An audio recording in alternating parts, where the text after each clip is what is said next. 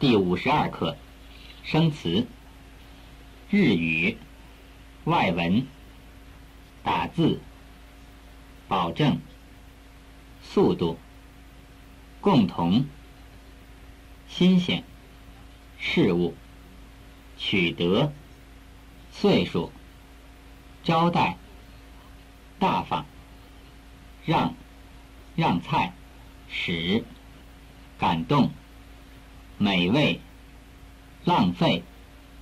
可惜，谦虚，无论，优点，受，甚至，骄傲，缺点，理解，花，花钱，故，既，又，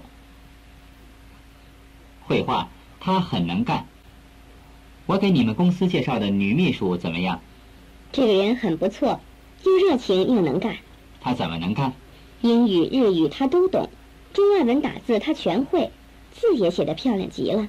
什么事都保证干得速度快，质量好。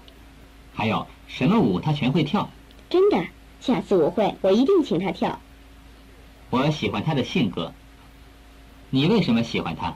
我们俩除了有共同的爱好以外，我还喜欢他的性格。他的性格有什么特点？热情活泼，接受新鲜事物特别快。他喜欢你什么？他说我聪明能干，从来不满足已经取得的成绩。中国人非常热情。你去过中国，了解中国人的性格吧？中国人非常热情，喜欢帮助人。岁数大的人比较保守，年轻人大多数都很开放。听说他们招待客人大方得很。对。他们招待客人时，饭菜总是摆满一桌子，还要热情的给客人让酒让菜，使客人吃得饱饱的。你习惯他们的热情招待吗？我一直不太习惯，他们的热情实在让人感动。但是那么多的美味食品，如果吃不了就是浪费，多可惜呀！课文谈性格。每个人有每个人的性格。每个国家的人也都有他们的性格特点，中国人的性格和美国人就很不一样。中国人聪明勤奋，同时又很谦虚。一个中国人无论怎么能干，干得多么有成就，他也还是说我不行，没干什么，还差得远呢。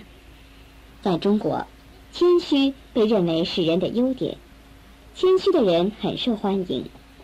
要是有人说自己多么能干，什么都干得好，他就太不谦虚了，甚至被认为是骄傲的表现。